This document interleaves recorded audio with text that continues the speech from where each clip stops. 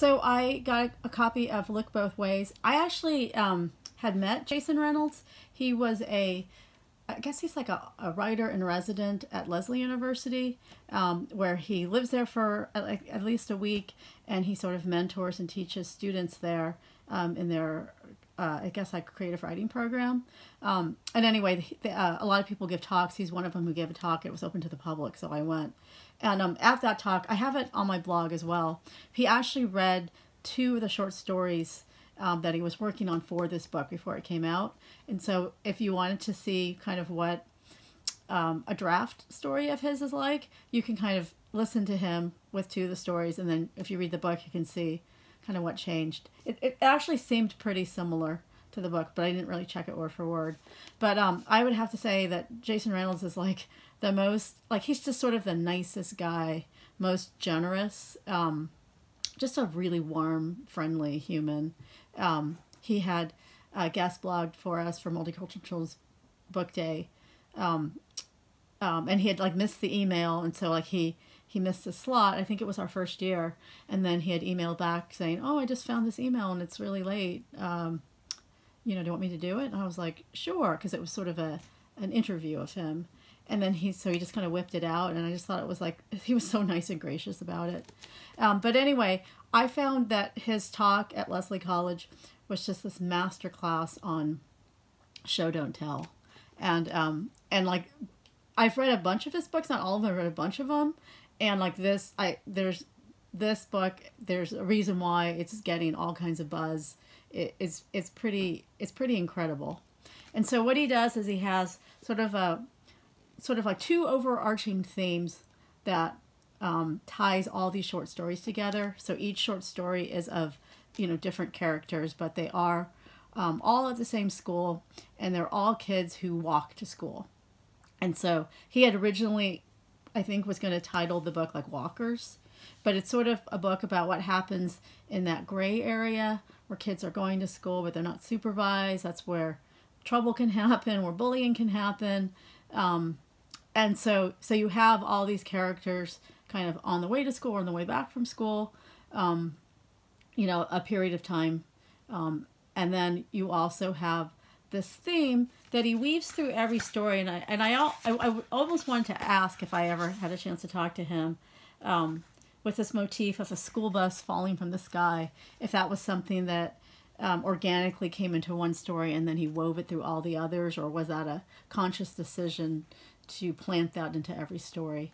And so, along with that theme of a school bus falling from the sky, which is kind of a, you know, an out of the ordinary thing that, you know, doesn't totally happen in real life, he also has as the um, um, sort of a message related to that about, um, you know, what are you doing to change the world to make it better? Um, and so, with, with, with those sort of uh, themes that kind of tie the whole book together, every story um, is like really captivating and and really explores um, very subtle. I mean, like like I don't know how he does it so well, but you you get a glimpse into the character and also what it's like for them at home, what their home life is, and so you understand. Um, even though it's just a short period of time where they're you know sort of coming or going from school you get you get so much detail about sort of the struggles that they have um, just just everyday life struggles um, whether they're being a foster child whether uh, they lost a sibling um, in a really tragic way recently or uh, they're being bullied. All, all kinds of um, you know eye-opening um, um, theme uh like uh family stories he's able to weave in is almost like these details. It's it's not the center of the story because that center story is really about the characters are coming and going um, and what they're doing but he he manages to just you know pack in a wallop. Um, and then also just because these kids are all at the same school um, you start to understand you know how they interact or how um, you know why they're this way and why they act towards other kids that way. Um, there's you know there's um, domestic violence is um, one of the stories, but anyway, I can't I can't praise it enough. It's it just uh, because they're short stories, it reads very quickly. Um, you know, you can read it all in one sitting, or you can read it in pieces. Um, you know, you don't have to rem- remember, you know, each, you know, remember the whole book. You know, you sort of can read it. Um, but each story kind of grabs you. Each story just grabs your attention, and you want to finish the finish the story, and you sort of want to move on to the next story. So it also is a very um, quick read. Uh, let's see, about a little bit under 200 pages, but I don't know. It's just it's um, middle grade.